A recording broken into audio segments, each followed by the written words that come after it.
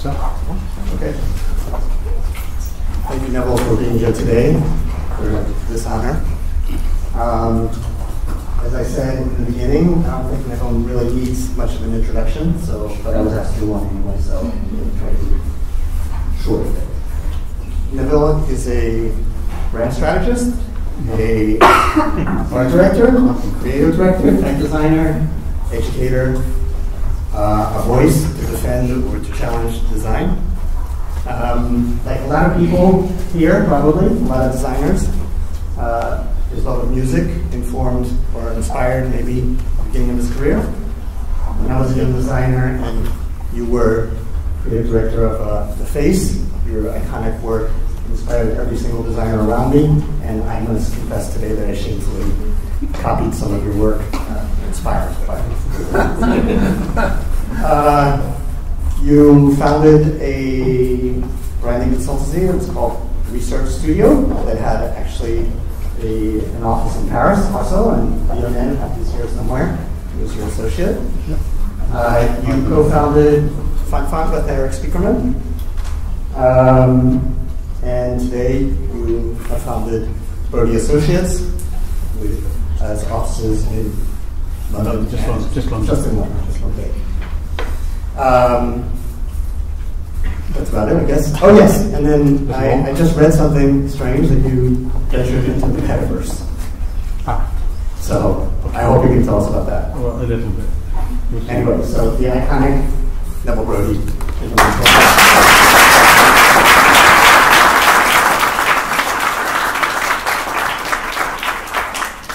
Thank you, Aaron. Um, God. Petra, thank you. That was great. Just making this. No, no, that was really. I, I, I nearly left. I was like afterwards. Um, so um, I've got a rambling set of 300 slides. Um, There is more beam. You there's can have a In- break in the middle. of in the middle, exactly. Um, but you said, Jean-François, you said 30, 40 minutes, right? what does this mean? I take, in, I take instruction.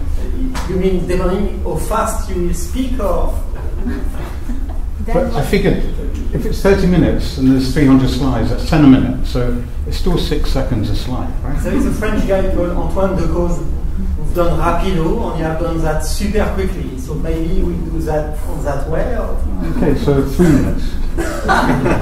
okay, so um, take your time. I'm going to take my time. Um, I don't know where to start. Um, this is the first time I've spoken in Paris in maybe 20 years. It's only the third time I've done a lecture in Paris, which is crazy. Oh, shut up! I'm here because he paid me to come. No, the sponsor paid. Ah, it wasn't enough. No, I'm kidding. No, it, it, does, it doesn't cover the hotel, the taxi. the. We're going to talk. Um, so, um, thank you, Aaron. And that was a, a bit in, like not embarrassing, but I never think of my work as having those kind of moments, as it were. Um, I'm always interested in how things develop more than what those things might mean. Um, and, you know, if you're a graphic designer, um, your, I think, duty is to be completely obsessed by what you do. I mean, Petra, you're obsessed, aren't you? Yeah. And, you know, you have to give up most of the rest of your life if you want to do it properly. I want. Um, and you end up working, you know, seven days a week. You end up working nights, and it's just an obsession. And you have to keep challenging. You have to keep developing. Um, so I'm going to talk about some of the things that um, we've been interested in in terms of my studio, the work I've done, the work that I've done with other people in collaboration. And most of the work I do is all about the basis of our philosophy, which is everything is language. Um, the way we walk through a city, or the way we live through our days, or the way we choose to communicate, or the way we choose to think about our existence, this is all informed by different forms of language. And the language might be natural, it might be um, the clouds in the sky, this is a form of language encoding. It might be a sign on a street, this is a deliberate form of instruction. Um, and these different codes tell us how to act, they tell us how to behave, they tell us how to respond. Um, and today I'm going to focus really very much on the, the typography and the type design and the use of type in the, in the work I do because ultimately type design is a way of telling people how to respond to content. So every typeface design is a way of influencing the way you understand a message. Um, and type design is something that we often think about the words it's saying, and we rarely think about the form it takes, because the form it takes is the thing that influences the way we think. And so what we've done a lot as a studio is we've challenged the forms. We've pushed things into spaces which are more sculptural, where maybe the letter forms themselves start to, to decay. So we're looking for that edge of textual legibility, and that point at which an emotional or an unpreconditioned response might, might come into effect.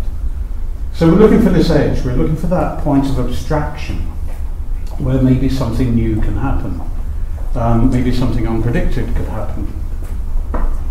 And we play, we experiment, because I think that these days people have become so risk averse. People don't think about taking risks that might fail.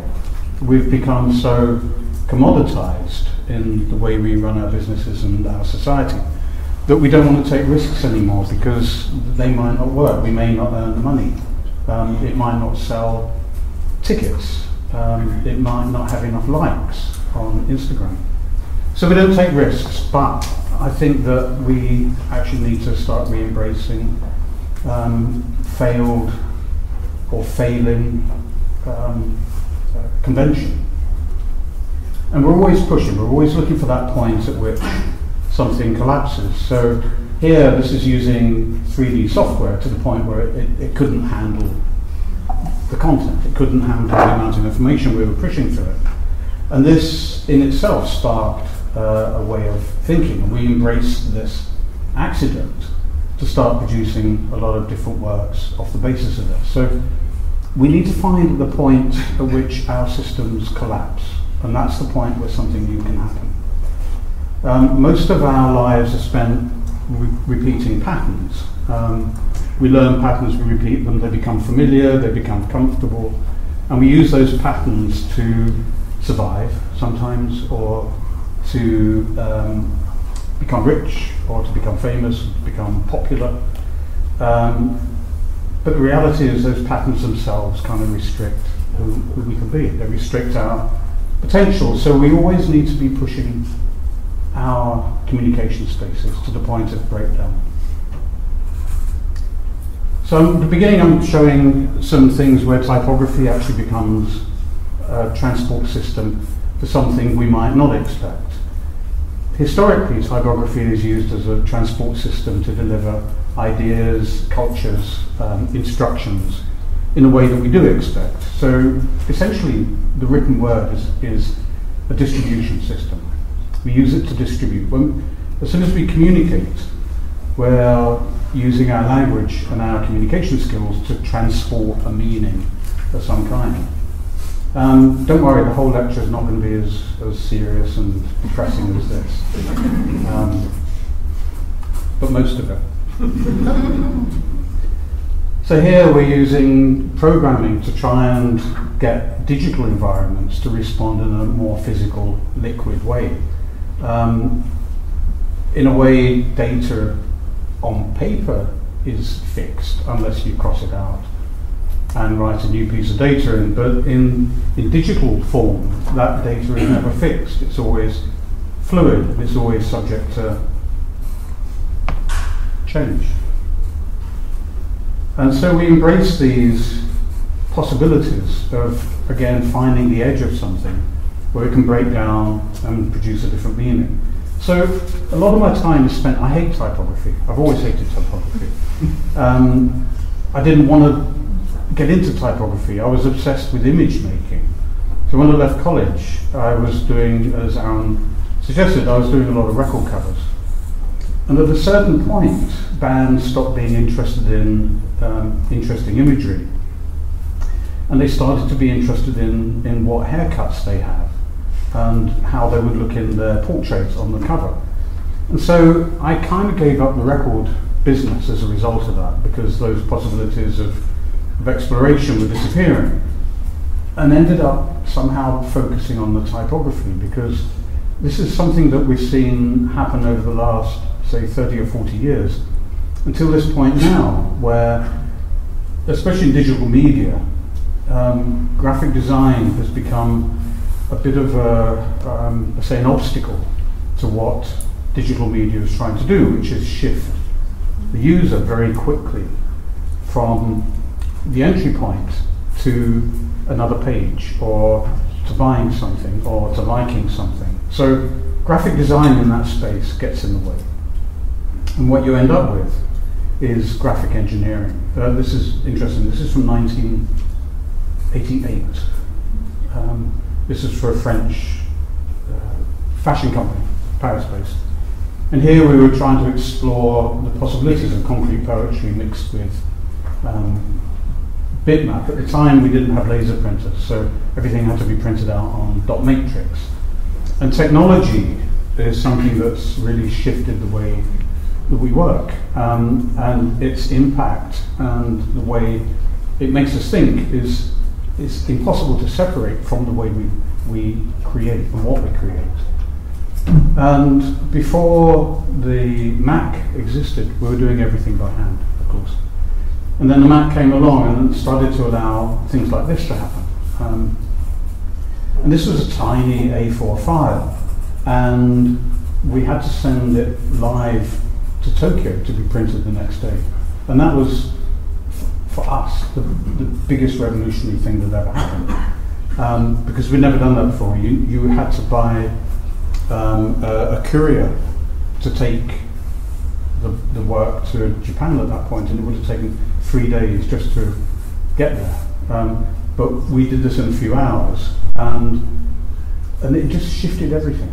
And now we don't think twice about being always on and always present. So this is a piece of work done for another Japanese magazine. And um, in this case, we didn't add anything. We just took their logo, which is plus 81, and realized by turning it sideways, it, it formed a face. So all we did was, was just interfere very slightly and shift the perception of what they were doing.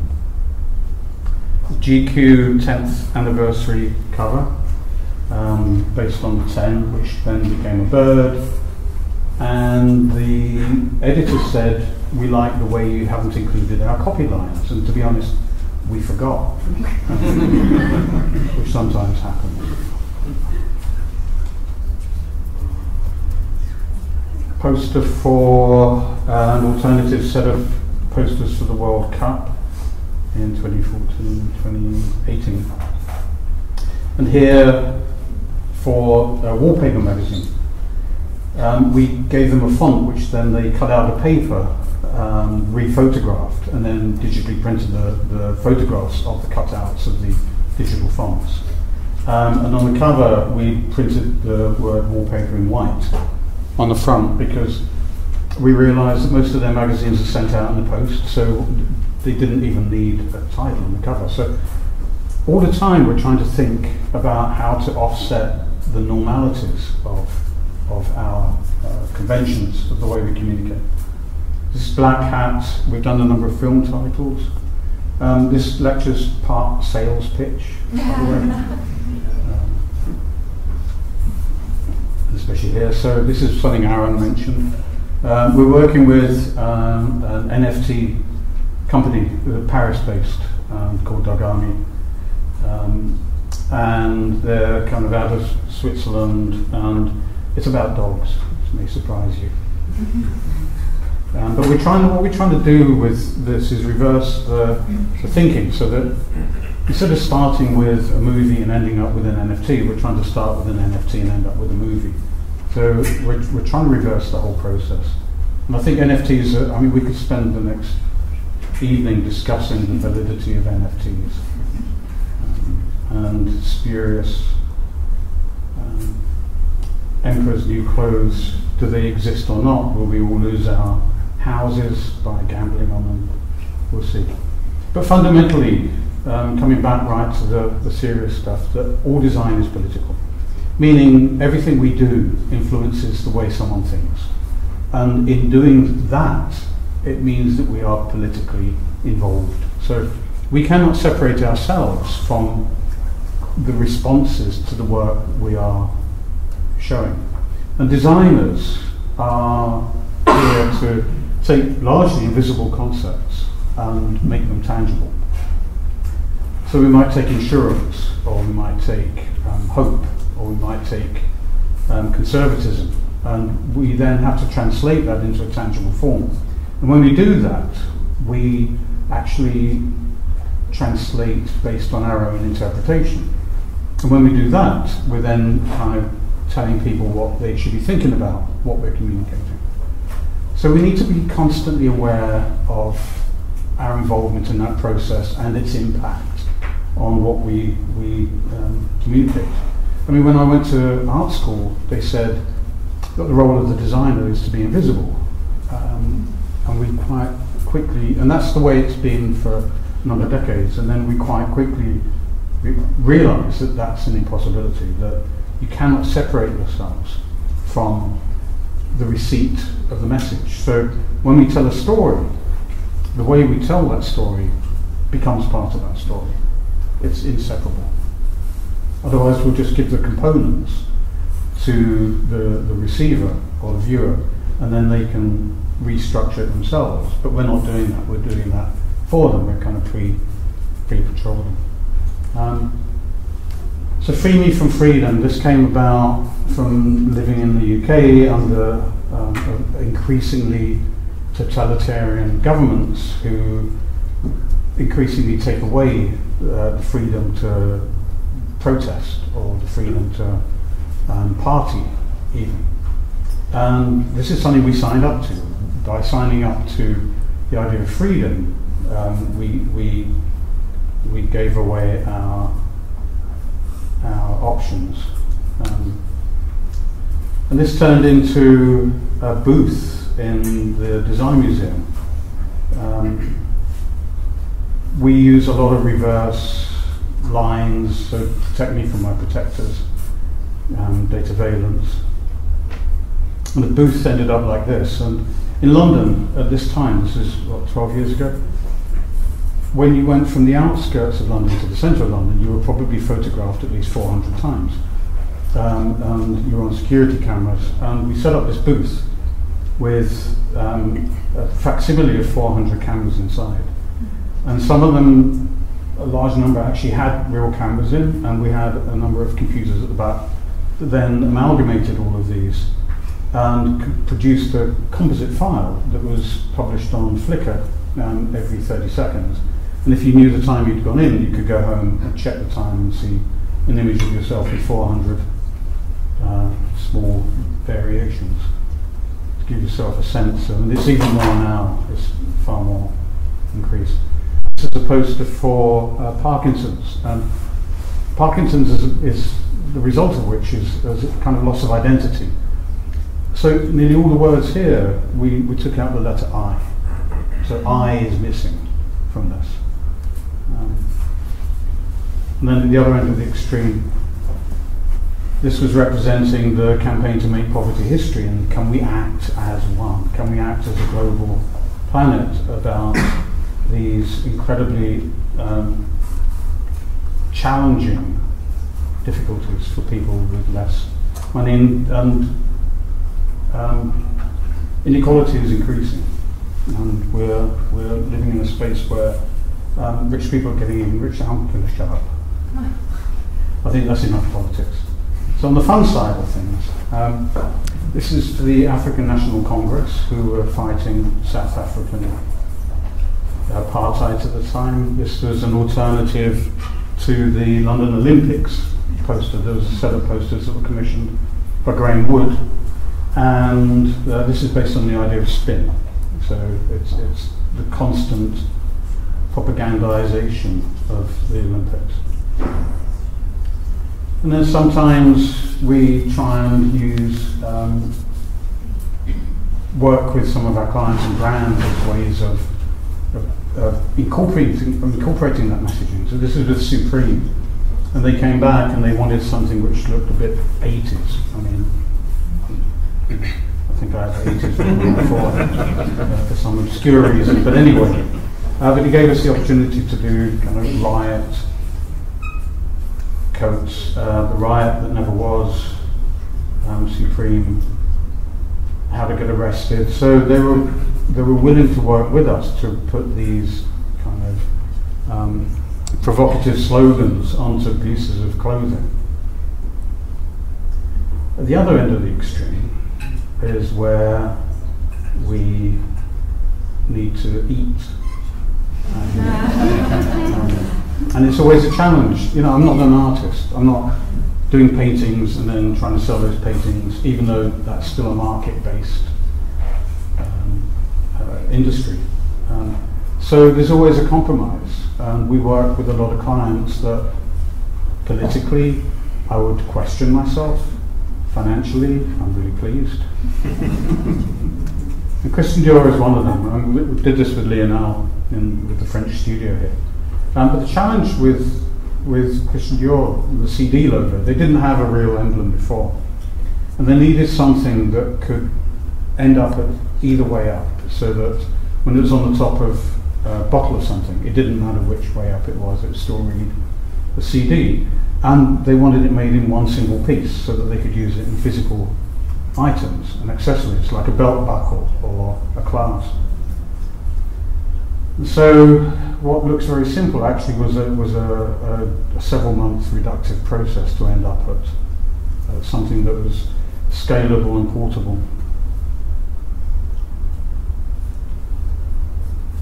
The RCA was, uh, I mean, I'm still teaching there somehow, um, despite falling out with many of them. Uh, but we did the branding for them when I joined. This is about 2010. Um, the first thing we did, because everything was centered, so we moved everything to a ranged position. And I know that's not exciting in itself, but actually it allowed us to then position the branding at any place and make it more dynamic.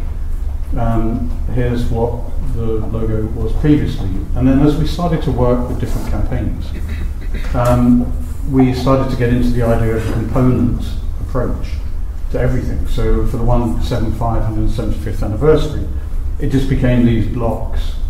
But then what became interesting for me was this typeface. This typeface was designed by Margaret Calvert um, and had been used for the, and she was one of the main professors there uh, before me. Um, she designed most of Britain's uh, uh, road signs um, and typefaces for railway stations and hospitals and airports. And she did this typeface called Calvert. Um, and we wanted to create a new font that was again component. So we took the typeface. Um, and it's, it's not really um, based on thicks and thins. Um, so what we did was we, we forced the outline inwards to a point where it started to break down. Um, we made it slightly wider. And then we went in and took the result and started redrawing and cleaning up by hand uh, to end up with something that looked a bit more like this. So it's got its roots in the original typeface. And now we've got something that's actually based on the sum of its parts. So now it's a component system that works with other component ideas we were having. The idea was that it, it becomes incredibly scalable. At a small size, it's legible, it's crisp, so you can print it on, on bad quality paper. And at the large size, it just becomes a, a set of shapes. So this were the original sketches. Um, on the left, it was cut into metal. in the middle, this was how it might be sprayed on to a wall, and on the right is, is printed with vinyl. Some early experiments that are fine high res. Okay, so I've left some notes on there. there may be more.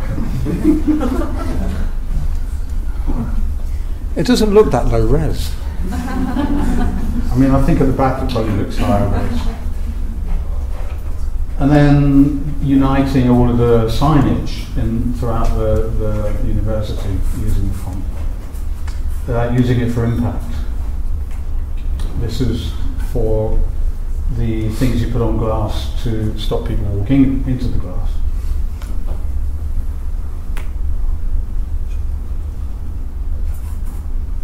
Um, and then I hate Rooney. but that's not the point. The point is we, we, we were asked by Nike to um, design the numbers for the last World Cup.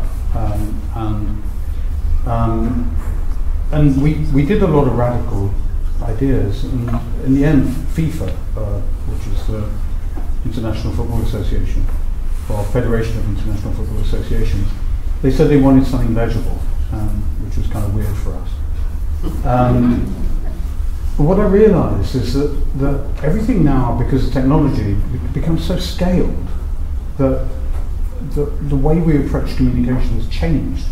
Um, when we do a book cover or a record cover or something that's in print that's going to appear in Amazon, for instance, we don't think about the experience of what happens when you buy the book. We think more about what happens when you're going to buy the book, which is does it work as a thumbnail? And it's the same for watching sports. So these numbers, I mean, the, the referee knows what every player is, what they're called. And the commentators know who each player is. Um, and most people are going to watch these matches on small screens. So they're going to watch it on mobile. So the numbers then, um, the legibility of the numbers takes over from any kind of creative concerns. And FIFA were more concerned about how it looked on a mobile screen than they were about how it was as a piece of culture. And we designed the, the naming typeface and we designed the numbers. As I said, I wish I'd brought it with me. Um, it's a lot more extreme than this, the originals. Um, my mum, my mum was quite pleased about this. She likes it when, when I do things she's heard of. Um, so yeah, and we, we've just been working with um, FIFA again to develop the England women's World Cup team for the next World Cup. And then Coca-Cola. Um, this was for a celebration of their 100th anniversary of the bottle design, the iconic bottle and they asked a few different designers to think about posters, and I couldn't think of anything more representative of the bottle than the bottle. Um, so repeated it, all done by hand, turned, and then reversed out of the layer underneath. So there's a sort of randomness, it's not mathematically worked out, um, and it ends up like this as a crop. Um, and this is how it is in the, the headquarters of um, the world's biggest manufacturer of sugared drinks. um, so it's a conflict. I'm so proud of this, I'm so ashamed. but not so ashamed that we didn't then continue working with them. Um, so this is the first time they've ever commissioned their own proprietary typeface. And for this we had the, the joy, actually it was, of spending three days in their archives in, in Atlanta. Um, looking at, I mean, it's like the scene at the end of Citizen Kane where there's this huge warehouse of hundreds of crates of old stuff and we could just explore anything. Um, and we ended up with a typeface that needed to work at scale, digitally, and large in print. Um, that it could work in motion graphics, that it could also um, capture some of Coca-Cola's personality, whatever that was. So we spent, as I said, a lot of time taking images out of their, their archives and seeing if there was something continuous through all of their typographic languages. We ended up in this kind of American Gothic space where it feels geometric, but there's always another little quirk or something disproportionate that's going on, like the, this A of the master, the lower, the lower part of that screen. And pulling these out and gradually synthesizing everything all the way down, looking at these, I mean, incredible. I love these. I'm you know, Petra thinking about some of the stuff that you were showing, that, that vernacular, you know, the sign writing stuff is just incredible, and there's so many ideas in it. And we, we lose that edge you know, when we're converting these into kind of generic typefaces. So how can we bring some of that back in? So we tested Coca-Cola's like level of um, comfort. How much quirk could we bring in to, to actually, at the end of the day, the world's biggest drinks company? Um, and we largely based a lot of the elements also on the Coca-Cola thing, so the, the circle got replicated. Um, and we ended up here. So it's a sort of invisible, visible typeface. So here's what I was talking about where typography manipulates but invisibly. So we've done something that spent we spent like months developing in order for it to seem invisible.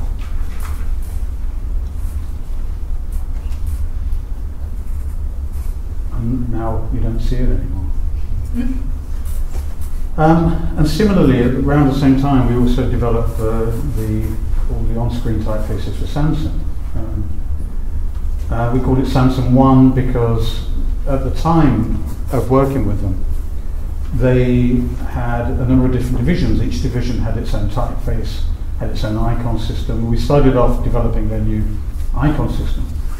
Um, and we realized again that the only way that that would work for them is if they had one typeface mechanism that was able to work across every platform, every object, every interface, um, every territory. So it could work um, printed large in a store again, it could work small on a mobile phone. Um, it had to be economic, so you need to fit a lot of lettering into one space. Um, it needed to be flexible in terms of weight. It needed to be flexible across a myriad of languages. We ended up developing 26, 26 different scripts, which I'll get to in a minute. And we had to build in um, essentially a DNA. So there was a DNA of characteristics, which then were carried by every single character, every single weight, every single style of the typeface. And it needed to be easily legible. So we did legibility testing at different scales, using different forms. Large X height, uh, very squared, so that you get a lot of air inside the letters, not outside. We're used to often reading lettering from, from the outside of the letter form, but in a digital context, we often need to read the space inside the letter form. So we opened up everything, pushed things out to corners. The X height was pushed as high as we could get it um, within the, the line space available. Um, we, as I said, created 26 writing systems. This took another three years. Uh, 400 different languages, um, huge amount of glyphs, and we worked with a lot of local partners. And we created this kind of global DNA for this, where, where different scripts would share the same approaches to similar challenges like junctions. Um, this is a, a, sample of some of the different scripts. So straight to curve junctions, this was shared throughout everything we did. We find the, uh, the use of the spur, which is there for legibility and comes out of calligraphic, uh, calligraphic, calligraphic, calligraphic um, basis. Um, this is where the pen then joined and left a mark. And it aids legibility, especially at, at very small sizes. Making sure that the angle of the cut is a, is a tangent to the curve rather than going against the curve. Getting a rhythm. Are you doing a selfie? Just checking. but you come, you come up and come up with yourself.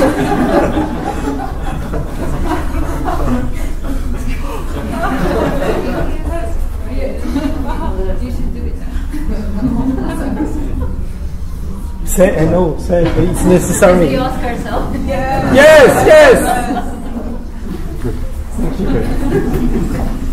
Um, yeah, I, I paid Jean Francois to do this. so, thinking about common, common approaches to rhythm, um, angular forms, sometimes highly geometric. And then here's a small sample, again, invisible. Um, and the type had to work as a piece of machinery. It had to enable communication on very different, challenging technological environments and platforms. Um, sometimes it just has to work, and sometimes it shouldn't be calling out. Um, but again, we're still putting messages and values into this design that says something about Samsung, about you know reliability, um, trustworthiness, um, the peak of technolo- technological um, uh, seamlessness. So there's a lot of messages that goes that goes into this, and it's very low on personality and very high on function. But the function itself becomes part of the personality. Oh, um, my the guy who runs the business told me to put this slide in. Um, so if anyone thinks that they would like to work with us or collaborate with us in type design and typography, please photograph this now. and if I don't do this, he's, he said he was going to fire me. Um, L'Occitane, um, again, uh, very technical. We've just finished working with them on developing a sans and a serif that would work together. Um, and brands these days don't create much, um, say, creative communication. And this is largely to do with technology. And brands these days don't manufacture much, but they do manufacture stories. And they seek content. And as we know on Instagram, uh, yesterday's Instagram post is quickly forgotten. Um, um, so then the way that you tell a story becomes the most important thing. And one of the most important things about the way you tell a story is the transport systems that you design to tell that story. So in this case, in most cases, it's about the typeface that you use. So we developed the serif and the sans for L'Occitane, again trying to capture the values of L'Occitane um, and personality in, in the, the typeface design, so that at the end of the day they could do any piece of communication and it would still feel like L'Occitane. Um, we built in certain characteristics that were based on a, a, a, lot of workshopping that we did together. The sans had to match a lot of the characteristics of the serif so that they could combine.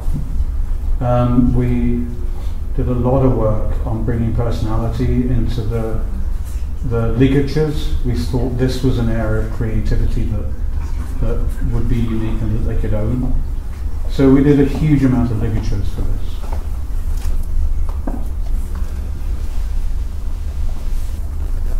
Um, a couple of quick examples. How am I doing for time? Is everyone at home? Ask Sam. Okay.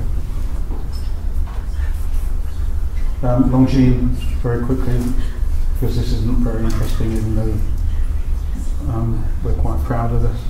Um, again, we spent a lot of time in their archives looking at characteristics and putting those characteristics into tiny detailing so that at display um, the font would be maybe all they would need to, to use.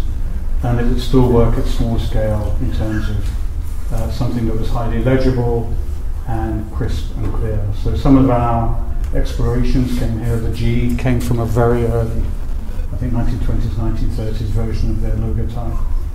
Um, and we pulled all of this together, uh, making changes between the display and the text because obviously the text you don't need as much decoration.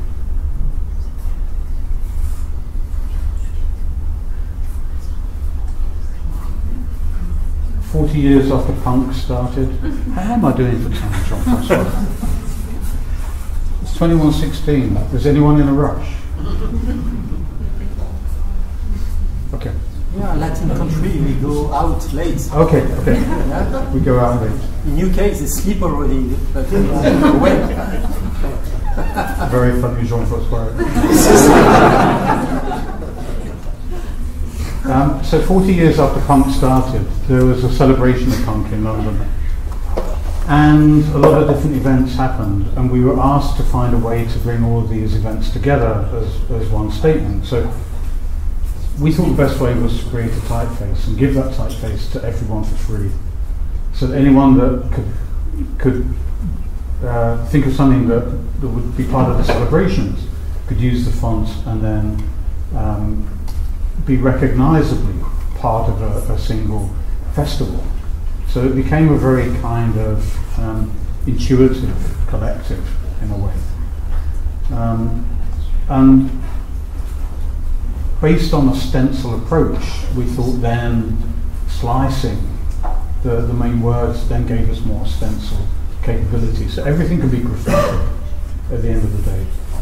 And then everything could be united under one. I mean, these great pictures by Derek Ridgers from the time, um, but brought to life digitally. So trying to think about ways that we could think about um, photocopying early enlargements from half-tone screens, um, and they ended up um, in the, the underground system in London um, and on the streets. And Channel 4 asked us, because there are, uh, everyone knows Channel 4, nobody knows Channel 4. So Channel 4 is, is an independent but government owned but independently managed British channel, uh, TV channel. And they're always famous for doing kind of challenging programming, always standing up for the outsider, not the norm. Uh, they're incredibly popular um, and they're always uh, take very different angles on their, their content. And they wanted us to help them move to a place where they didn't need to use uh, their brand, their logo anymore. And they felt the best way to do that was to work with us on developing a typeface, uh, a typeface that would then contain a lot of their personality characteristics. So we based the, the, the beginning on, um, this is kind of British 20th century typography, grotesques, Gill Sans, um, Johnston font for the London Underground system, um, naive grotesques. And we developed two typefaces, one which was Chadwick, which was the clean, modern British Gothic. The other one was Horseferry, and we saw that as, um, you know, the, the family member at the table who always throws his food against the wall or um, pushes the table over. So the Horseferry became the one that carried the personality through everything. And now in the UK, if you see the Horseferry font, you know immediately that it's Channel 4. They don't need to use their logo now in a lot of places. Um, and here's how the two overlaid. Um, differences, but basically the same story. So the clean one is used for information, like the news and weather. Um, I, I meant to bring a, an animation, apologies. Um, but on screen, um, this is all they use. So um, as soon as you see this, you know that Channel 4 is speaking. Um, I wanted to share a quick bit of Fuse. Um, I don't know, does anyone know, here know Fuse? Yes. I think I make four. so Fuse was, Fuse is 1990. Uh, Fuse is 32 years old. Uh, I have Fuse, this one. I have this one. You have this one. This one. yes. Can I buy it? I can Um, rent it. Or to rent it? so Fuse took the advantages of uh, digital technology that said that anyone can design a typeface. And that had never, ever happened before. This was the first time ever you could sit down and design your own font. So designers finally had the um, uh, opportunity to design their own typefaces. We wanted to take that one step further. We said, well, what, what if we use this as an idea to challenge what conventional typography is? Um, what happens if we bring designers in that are not traditional type designers, and maybe some that are, and challenge them to think differently about what a font is?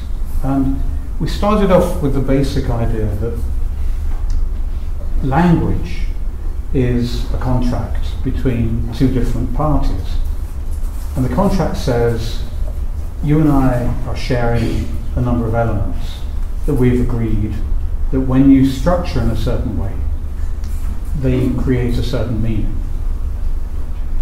An alphabet is simply a set of components that we share, that when we put those components together, we form increasingly complex meaning between us. So again, it's a transport system. And then the question comes, well, why 26 characters? Why not, why not 26,000 or why not two? Um, and we allowed designers then to think about what a font could be. And we allowed them to use the keyboard as a way of exploring new, new thoughts about communication. So this is by Tibor Kalman, um, sadly passed a few years ago, from M&Co. And he decided that all capital letters were good words and all lowercase letters were bad words. So as you typed, you had this fight between good and evil. For this typeface, I took the negative space between characters, and that formed this kind of illegible space based on something we're very familiar with. Tobias Frere-Jones recorded conversations on the streets of New York and put complete phrases in different key positions. So if you typed a T, you might get on schedule. So you would build a conversation just by typing different words. Uh, David Crow took this even further and he by using negative spacing and abstract marks. Every time you typed your name, a new face would appear that would be different to someone else's typed name. So he was thinking about typography and language as, as identity. Paul Elliman got his students to create different letter forms in a passport booth. Um, this was based on William Burroughs' idea of a cut-up. So by taking sections of a newspaper, and putting a different section in each character, and typing, you would you would create a completely new story, which was um, somehow the basis of his cut-up technique. Cornel Windlin, on the left, this is reminding us that um, typography in language is quite mechanical. On the right, this is taking marks from, I think, the Baader-Meinhof gang. Um, so moving something which was threatening and dangerous into something that looked kind of soft and cuddly. And the great Gerhard Unger, Harald Unger, who decided that he only wanted 10 characters in his typeface, so that you could either use them to compile the real letter forms or something completely new and abstract. Um, for Fuse 10, we realized that abstract form had existed in music, in, pa- in painting, in sculpture, um, even in writing, but it had never existed in typeface design before. Um, so we said we don't need to, to say words anymore. Let's focus on the rhythm and the look that a, a typeface can bring. Um, we thought about this as a keyboard creating visual music we did a lot of different experiments, and I think this is a really interesting space. Um, and it allows us to rethink about the way the computer works for us, and can we use it to create more play or different experiences. Again, from Tobias, that the more you typed, the more noise it created, so the more illegible it became. This was Anneliese Schoenecker, who found plastic spoons on the floor at the canteen at the Royal College of Art and broke them into letter forms. I love this. This is um, volcano type by Mr. J. Smith. Um, as you type words, you get different identikits. So we're all criminals with this one. And finally, Explicit FFM, who went beyond the form completely and, and created letter forms based on textures and grids.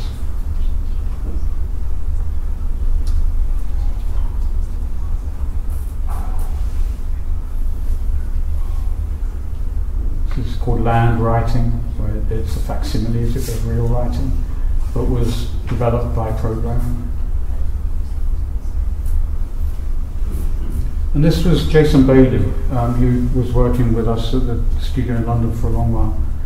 Um, and this, his mother um, suffered from multiple sclerosis, and she wanted to use her writing. This is her best attempt at writing. She wanted to use that as a way of expressing how it was suffering from multiple sclerosis. So Jason used that as the, the basis for this incredibly, I think, incredibly emotive typeface. And the picture is of his mother when she was 16, just before she started suffering from MS. So, you know, so typography and language can carry other forms of narrative. Um, this is part of the, the final fuse, which was fuse 20. And we're going beyond form completely now. and We're kind of starting to evolve back into the real world. And this was actually commissioned then Converse, and we ended up in the middle of Beijing on the side of an industrial building in the middle of an artistic district, and not knowing that this, this factory was right next to it. A piece of serendipity.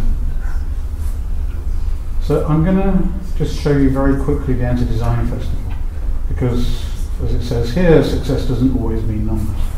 And I think we need to move back into that space of complexity, not entropy, of making things difficult, not simple, of moving beyond the idea that it's either you or me, or make America great again, or um, Brexit, or simple slogans that the world has been reduced to.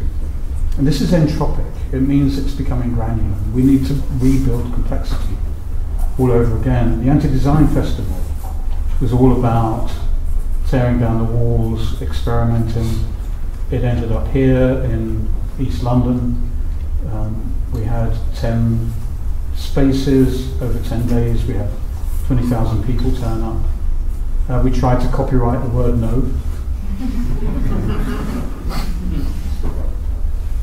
this is the program. So everything was chaotic, everything was possible, nothing was permanent. Everything fell apart afterwards. You couldn't buy anything. Um, people visiting could bring their own stuff and put it in the exhibition. Uh, this is the waiting room. This is what a bunch of cunts, but I'm not allowed to say that because we're a live broadcast. Sorry, We used old technology, and why not? Uh, we had talks, we had an open exhibition space, anyone could send anything into that, and we would make sure it was on the wall. We ran workshops. This is called Exquisite Corpses. People bought different parts of an object that we then put together and then reveal the whole thing by taking it apart. Um, I love, I love this on the left. Are you troubled or depressed, worried, lonely, despairing? Um, instant note inside, and the drawers were empty, of course. um, making drawings straight onto film and then projecting at the end of the day. Um, Yuri Suzuki, who's now with Pentagram, used a thumb scanner to scan random barcodes and create sound and music. Uh, some of the different very comfortable home furnishings. uh, we asked Eine, the British graffiti artist, to put a uh, piece of graffiti all down the side of the building, the main building, and he put anti, anti, anti. And then Mother, the advertising agency on the other side of the building, they, they commissioned him afterwards, and he put pro, pro, pro. Um, I'm going to let you think about that. Not now, but later. We had performances, we had visual Tourette's, uh, we had a pixel wall made of plastic cups that people could then rearrange. Uh, we had um, Dominic Wilcox, who every day created a new experiment, um, design idea. He, he did a, a pop up city that he put on the fold down tray in a train and then left the train. So whoever sat down next would fold down the, the table and get this pop up city that they didn't expect. And this is day 15. This is his smoothie maker. And you put a lot of fruit in a football, you zip it up, play the football match, and then at the end you pour out the smoothie. Um, I'm going to leave it there, Jean-François. I think. So thank you for listening. You've been very patient.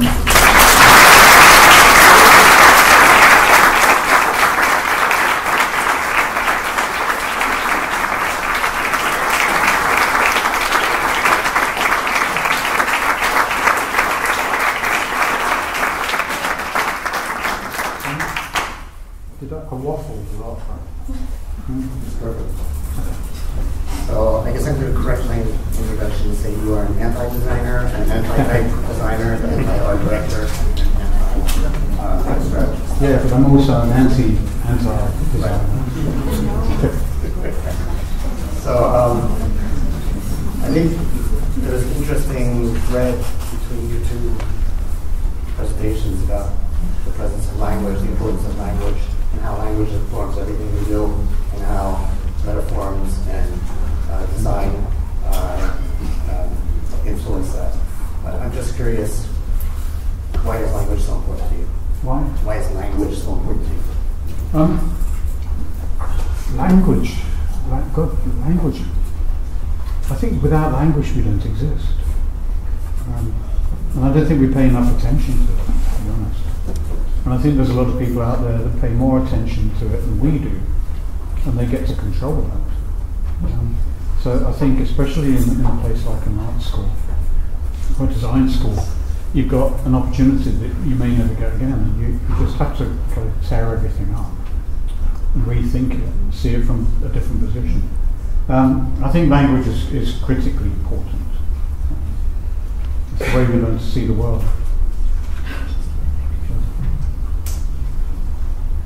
What's the, what's the question?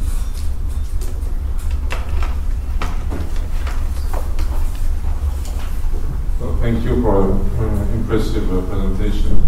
I make a number. I think that you are the person who designed the packaging of macromedia as a software.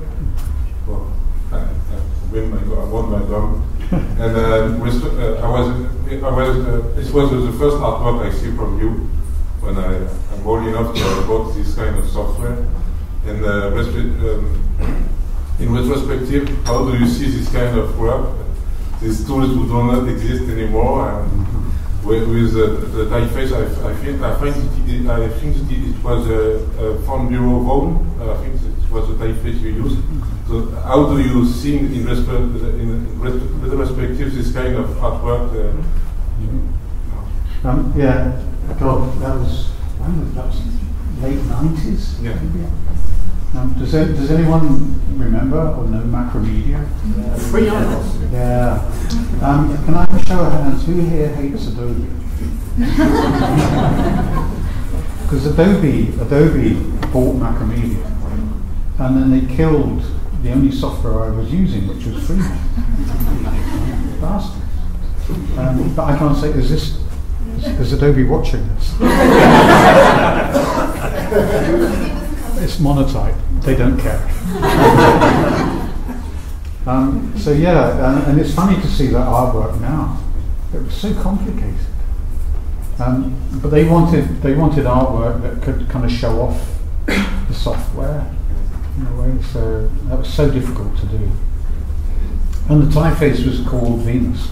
It was a, a reworking of uh, uh, an old grotesque Gothic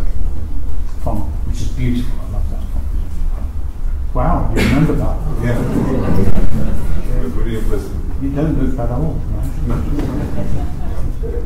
He started young. Huh? He started very young. Started very, we all started very young. Thank you. Next question. Could you work for a new magazine in the future? Could I work for a new magazine in the future? Yeah. Are you offering? uh, yeah, no, I love magazines. I was going to show, I was going to show some magazine work, but was, I, I, I was being too political for too long, um, so we ran out of time. But yeah, I love magazines. Um, I mean, for me, there's two important things about type. Is is do you create a new font, or and is that where the story is, or is it the way you use a typeface? And in magazines, it's very much about how you use a typeface. I mean, I think that's an incredibly creative space. And now we're using less and less print. And I think web design is so fucking boring. Right? I call it um, utility bills with pictures because it all looks like an invoice. Um, and everything is homogenous, it all looks the same. Um, I actually have another theory, which is graphic design is dead. Um, and that it had 100 years from Dada to TikTok. So Dada happened in, 20, in 1916, TikTok started in 2016. And now I, I think it's largely it's sort of graphic engineering, um, graphic decoration, but it, I don't think it's graphic design anymore. Um, so it's, it's really shifted. Um, and graphic design as a craft is loved by graphic designers, but most people in the public, especially younger people, they don't they don't know what value that has because it's all about the amount of likes you get or um, how many followers or and it's it's a it's a reductive thing. And I, I, I know some people that work at Google and the goal is, as I said before, is to move people very quickly that land on the page. Um, they either want to keep them on the page or move them from the page um, because they earn money either way. And they said graphic design gets in the way. So yeah, I think magazines might be a new, really interesting space. Like record covers, you know, we're back to a lot of vinyl. Sorry, I know that wasn't your question. When I was younger, I was out at the Centre Pompidou on monography. Um, but quickly I switched to more classical typography. But now you're doing designing more classical typography. So I have to wait more maybe to buy the new edition of the monography. But besides this uh, stupid joke, I'm asking how uh, you deal with typeface design.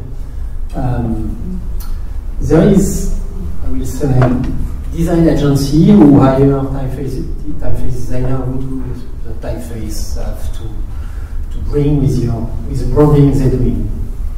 Um, there is people like you who have designed typeface before the computer or in the early days of the computer. There is people like Erik Spiekermann who have done a lot of branding and hire typeface designer to do or to be a creative director of the typeface or helping at certain level. How it works this day for you, the letter forms. Are you drawing some of them or direct them? How it works? Um, well, it's a mixture. I mean, I might, I make sketches, um, and we work. I, you know, I think type designers have become very kind of different to the way it used to be. It used to be like, honestly, at one point it was it was only men. Yes. Um, it was only men, and you had to spend years and years and years training. Um, and even be- before then, you would be cutting every letter in metal. Um, and we work with because because of digital communication, we can work with people in different countries. now. Um, and we work. Our main designer work is is German, but based in Poland.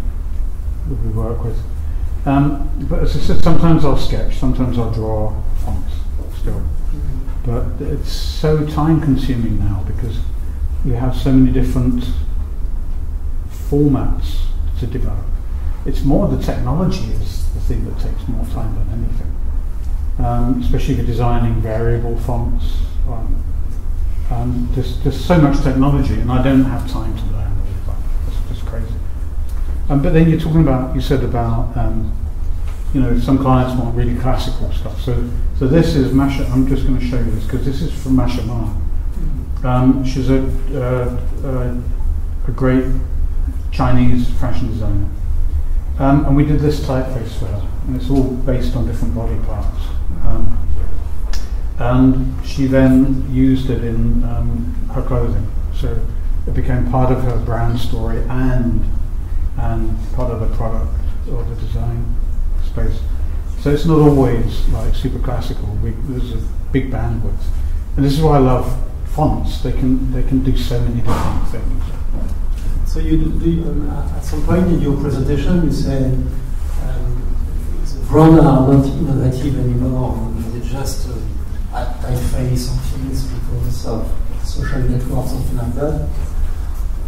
If I do comparison again with like Spiekermann, we have a lot of brands, typeface with brand, brand identity and like that. I have the feeling that on the work you present or in your website, uh, the identity is done with a typeface only, and there is nothing else. There is not so much image. I don't know exactly what you do when you do rebranding, if you do some rebranding, but it's always uh, with graphic design with type only or almost only with colors Mm-hmm. on shape. But there is no image, there is no logo, there is no nothing, only the word or the description or the manipulation or, of, of letters, Mhm. make words, something like that. Oh, could you tell something about your philosophy of what is what is a brand or why the brand doesn't need a logo or whatever? I, I think it, I think it's the same everywhere. I think, as I said, brands tell stories. Um, a brand is no longer a logo. Uh, That's that those days are finished. Um, so brands don't even want logos. Logos get in the way, except as the profile picture on on social media. And brands really want a strategy. So I end up writing more than designing. So brands want strategies um, because brands are tactical now. They're just interested in the next story, uh, the next wave of likes um, and followers. They're not interested in uh, the previous values of a brand, which is which is maybe a set of higher thoughts. Um, um, so what brands want is is what words do they say and how do they say them, and that's it. Um, or what what is their approach to pictures, um, and who is the kind of audience they have, and that's it Because it's because of the multiplication of channel of communication. Hmm? Because because it's because of the multiplication of channel of communication. So there is so many different ways to communicate with people. Mhm. You are not able to just put an ads on the Financial Time uh, one day it's on, on that's it. You have to, explode. Yeah, um, um, I don't know. Brands brands are obsessed with Instagram. Um, but I don't know. I mean, and then now brands are getting obsessed with TikTok, and then, but it's so short-lived. You know, this isn't this isn't a survival strategy for me. But if you're a type designer, you have a great, successful future ahead of you. Anyway. Are we ready for beers?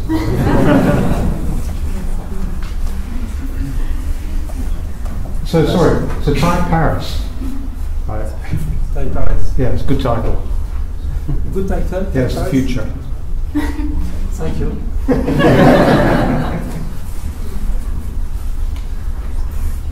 Any questions? When you will come back to Paris? I. When do you will come back to Paris? When will you pay for me to come? Next year?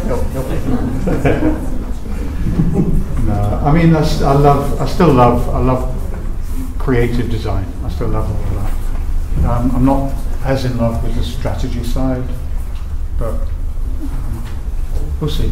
We'll see what happens. Thank you, Thank you very Aaron. much. Thank you. Thank you.